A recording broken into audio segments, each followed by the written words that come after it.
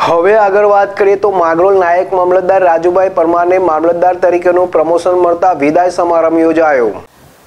માંગરોળના વતની અને હાલ માંગરોળ મામલતદાર કચેરીમાં પુરવઠા વિભાગ નાયબ મામલતદાર તરીકે ફરજ બજાવતા રાજુભાઈ પરમારને મામલતદાર તરીકે પ્રમોશન મળતા ગીર સોમનાથ કલેક્ટર કચેરીમાં ચૂંટણી શાખાના મામલતદાર તરીકે નિયુક્ત થયા.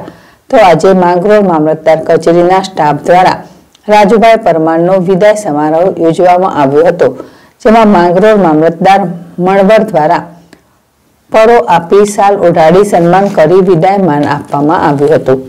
રાજુભાઈ પરમાર બે હજાર દસમાં નાયબ મામલતદાર તરીકે પ્રમોશન મળ્યાના તેર વર્ષ બાદ મામલતદાર બનતા પરિવારને મિત્ર વર્તુળમાં હર્ષની લાગણી જોવા મળી હતી.